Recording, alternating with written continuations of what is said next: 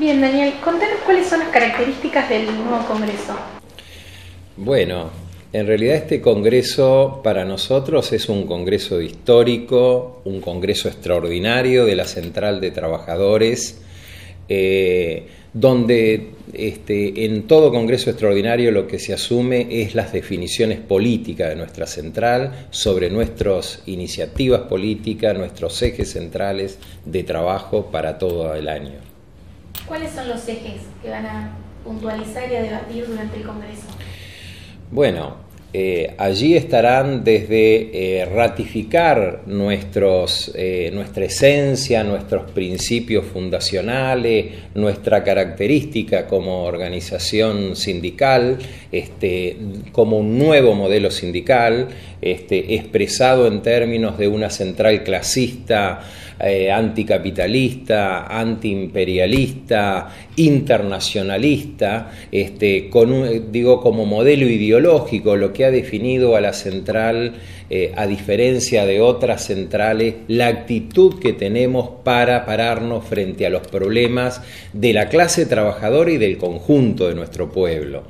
Eh, también estarán allí presentes todas las reivindicaciones. Estamos en una etapa de crisis mundial, de reposicionamiento del capitalismo y de ajuste interno en nuestros países, con un reposicionamiento del capitalismo, con un gobierno que juega para ellos, con un modelo sindical absolutamente ineficaz y así y desde ahí surge la debilidad del movimiento obrero para luchar contra la precarización, contra la tercerización, contra la informalidad de la clase trabajadora, hoy más del 50% de nuestra clase está en esas condiciones, la unidad de acción que necesitamos con todas aquellas organizaciones del campo popular que se animen a pelear contra estos ajustes y contra estos problemas de la clase. Abrazaremos a todas las centrales sindicales que siempre eh, vienen a nuestros congresos, que se solidarizan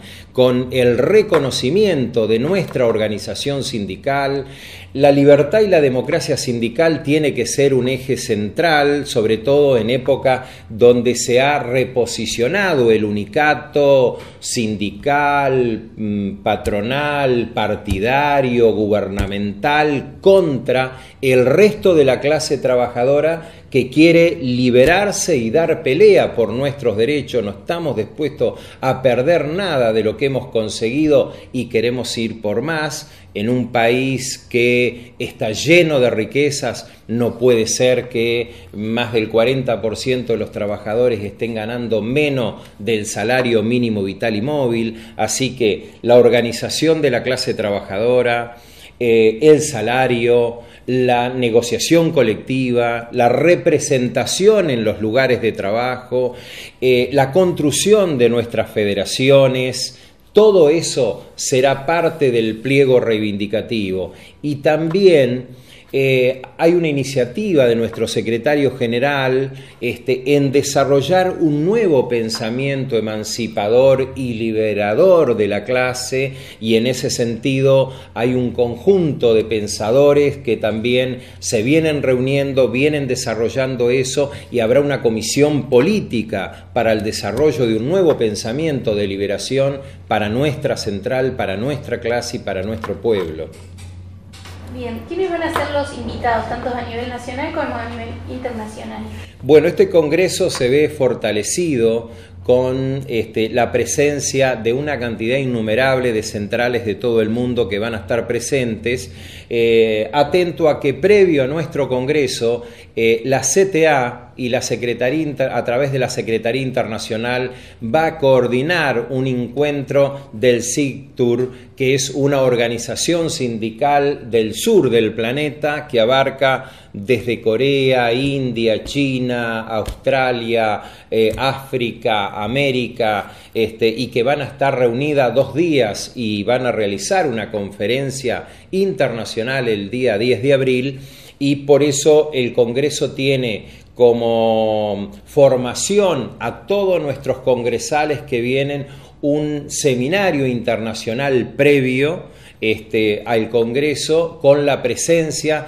de todas estas este, organizaciones sindicales. Además, tenemos garantizada la presencia de representantes sindicales de Bélgica, de Francia, de España, de Galicia, del País Vasco, de Portugal, de Italia de Canadá, Estados Unidos, México, Perú, Chile, Brasil, Uruguay, Paraguay, en, fin, este, más de 50 representaciones van a estar presentes mostrando la solidaridad, el reconocimiento de la central, el desarrollo eh, que ha mm, hecho la central a nivel mundial como un nuevo modelo de organización sindical adaptándose a cómo se organiza el capital.